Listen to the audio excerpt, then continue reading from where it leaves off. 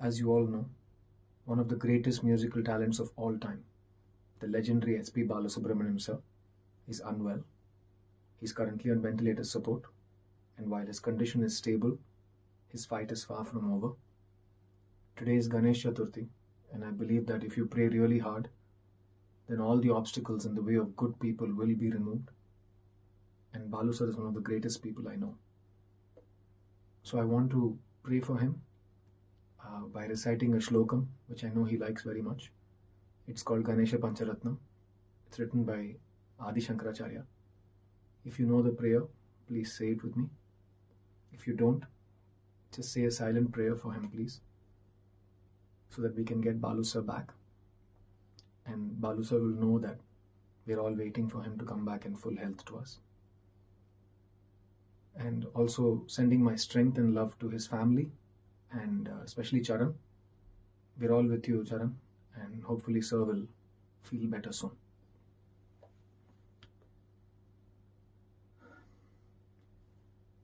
मुदाकरातमोदकं सदा विमुक्तिसाधकं कलाधरावतं सखं विलासिलोकरक्षकम् अनायकैकनायकं विनाशिते बदैत्यकं नताशुभाशुनाशकं नमामि तं विनायकम् न तेतरातिभीषणं नवोदितार्कभाषणं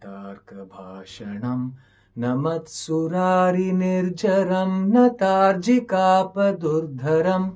सुरेश्वरं निधीश्वरं गजेश्वरं गणेश्वरं महेश्वरं तमाश्रये परात्परं निरन्तरम् समस्तलोकशङ्करं निरस्तदैत्यकुञ्जरं दरे दरोदरं वरं वरे भवक्त्रमक्षरम् कृपाकरं क्षमाकरं मुदाकरं यशस्करं मनस्करं नमस्कृतां नमस्करोमि भास्वरम्।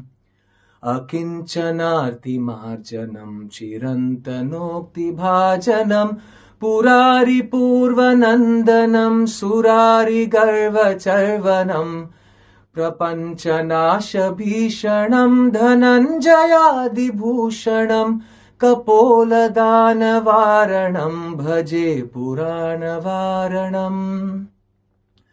नितान्तकान्तदन्तकान्तिमन्तकान्तकात्मजम् अचिन्त्यरूपमन्तहीनमन्तराय कृन्तनम् हृदन्तरे निरन्तरं वसन्तमेव योगिना तमेकदन्तमेकमेव चिन्तयामि सन्तनम्